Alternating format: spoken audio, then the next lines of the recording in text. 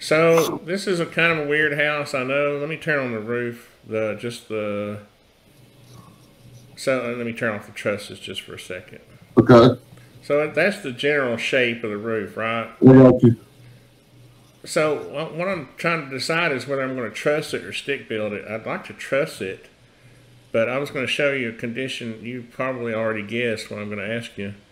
Let's see, trusses. So I'm not trying to be a truss. This is just a, an extension I have Uh-huh. for making trusses. So it's just, and it may just be graphic. You know, I don't know how close it would be. So I'm not trying to draw the actual truss, just the shape.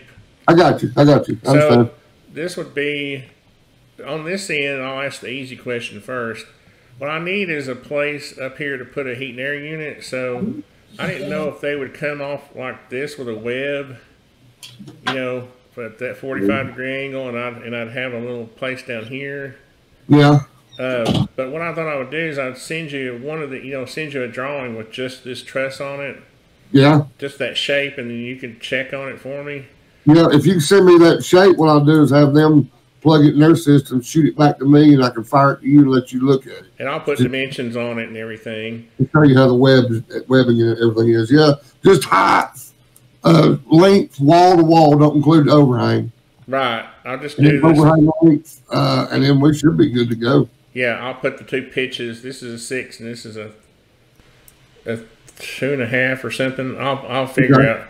I had to play with the pitches a little bit. Oops, because uh, of this condition right here, where the, where it almost meets.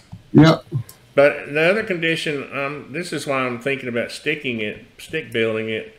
And here, just to let you know, I have a load bearing point already in the basement, in the ground, under the slab, right Okay. here, that I can put a post on and go all the way down to the ground and Okay. put LVL across here and just stick build it. But I'd rather use trusses, and the owner's already agreed to let me to put a flat ceiling in it, so it doesn't have to be vaulted I got you. because I had a problem, you know, trying to serve the upstairs with heat and air. What I was thinking about doing was um, either do, there was two ideas. One was having like a girder truss put here, uh, where I've got the two doubles, Uh huh.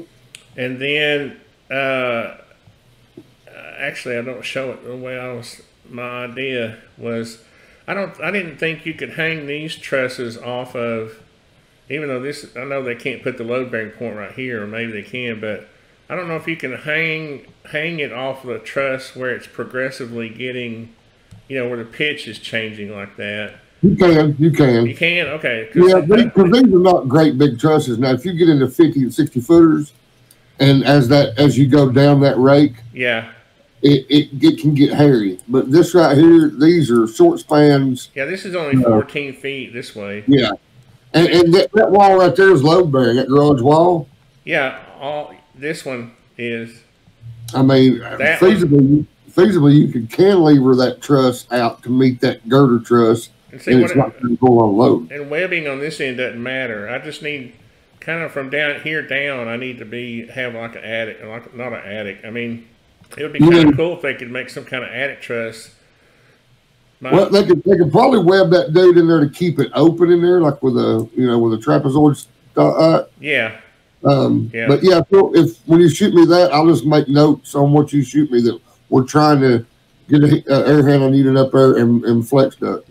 So what I'll do is I'll send you. I guess I have three different kinds of trusses, right? I got this one. Yeah.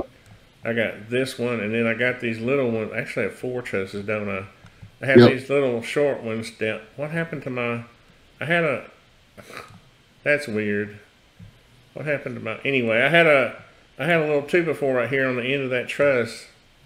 See right here. Yep. I must have accidentally deleted it. But anyway, or there's a layer turned off or something. But uh, I'll fix that. But I'll uh, Okay. I'll just put it on a drawing so they don't have to look at this. I don't. I, I guess they don't want to get a a 3D CAD drawing.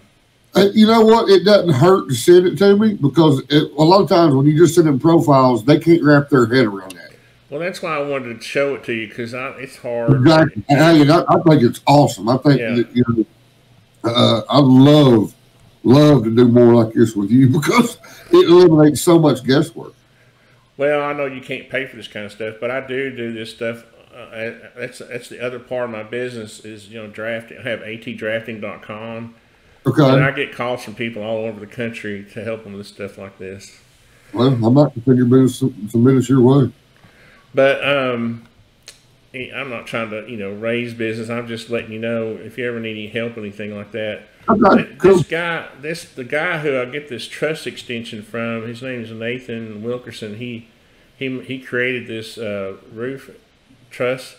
Uh, Wow. He, there's actually engineering. If you go to his website, Medeek Truss, there, he actually has the pages and pages of engineering behind the, the logic behind them. So a, it's not just some architect drawing web, you know. It's a good truss industry guy that's just come up Yeah, he, he knows what he's doing. So Yeah. this truss is probably I've literally sent like uh, I've gotten truss designs back from like Hawassi or somebody, Yeah. and they look exactly like what he's done.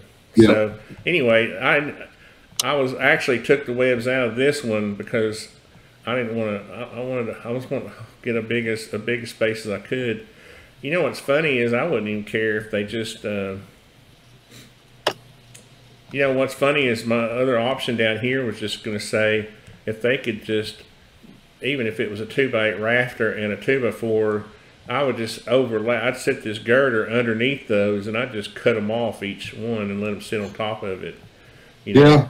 But however, you know, I think that's why, because it would be easy to move this this whatever this truss this girder truss over underneath that wall, and do it that way. But instead of hanging it off of them, you know.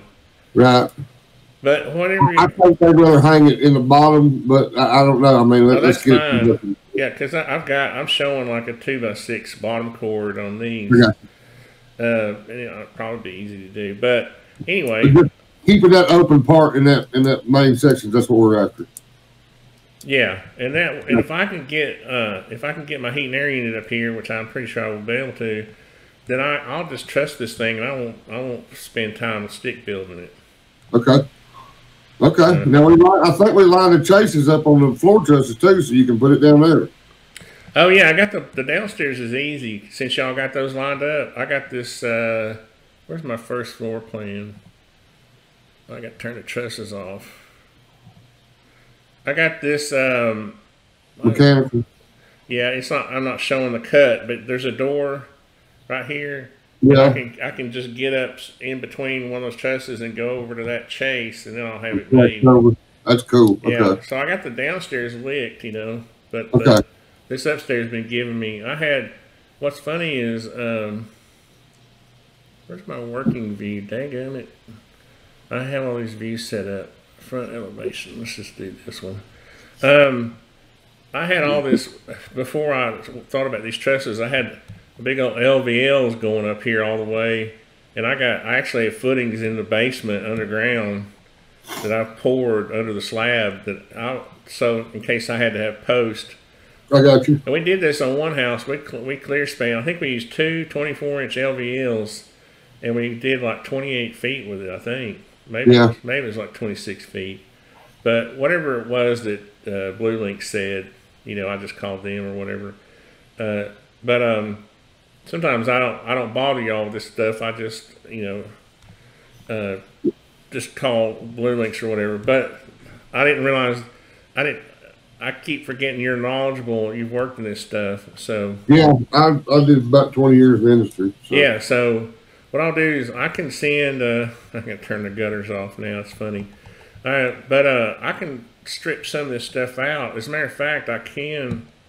If you think it would make it easier instead of getting all this other garbage, because I got all these layers and crap, I can, I can just send them the actual trusses, unless you want me to send the whole. You know, like I, said, I, I think the more I give them up there, where these guys I buy from, the better. That's the old. That's the old design over there. I'll clean. What I'll do is I'll clean the drawing up because there's a bunch of garbage. I've gone through two or three different designs, and I'll take out all this site stuff, Okay. all this grade and driveway and junk. They don't. They ain't gonna want to see. Because I'm afraid the drawing will be too big to email if I don't strip some of it. I, I got you. Okay. Okay. And I'll just Yeah. send it. I'll just send it to you. Do that and I'll forward it up. Ah, thanks, Tod. I appreciate Thanks, it. Tony. Yep. Uh, Thanks. See it.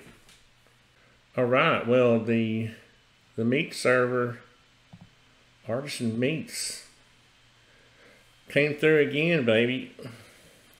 This is my online server, uh, video conferencing server that, that uh, actually a friend of mine, Mike, helped set up. We just call it Artisan Meets, just for the lack of a better term.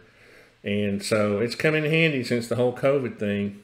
It really has. And I actually set it up coincidentally before that for tutoring, SketchUp tutoring, and some other stuff, other projects I'm trying to get going. Um, and it come in, came in handy. And so what I'll do is I'm going to clean this up. This drawing has really gotten corrupted with a bunch of junk on it. I think I'm going to have them drop uh, drop this truss so we can do our outriggers, outlooks, barge hangers. But I think I'm just going to send it to them the way it is. Excuse me, I just had a peanut butter banana and some burpee. I think I'm just going to send it to them like this because there may be something else that changes and I would want to do all the changes at the same time. So I'm going to do that. Anyway, just thought that would be a neat video to share on how we uh, meet sometimes with our consultants and um, how we kind of work through. This this will go. This is the actual house that we're using as a a study guide for our artisan school of construction, and um, it's it's you know I'm building this video series, and we'll put this in as an example of how to work with your consultants uh, on these kind of issues, working through them. Uh, so once again, thanks a lot, guys. And if you have any comments or questions, just put them in the comment section below. Thanks.